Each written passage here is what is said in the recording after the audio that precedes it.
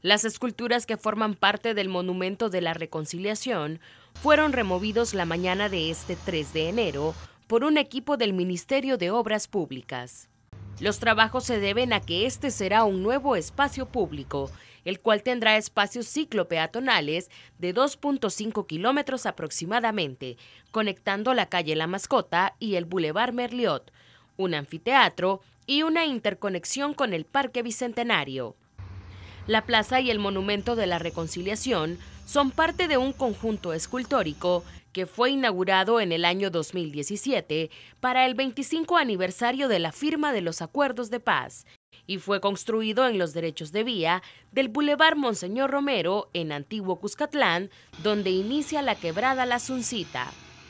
Con imágenes de Luis Martínez, este es un informe para la.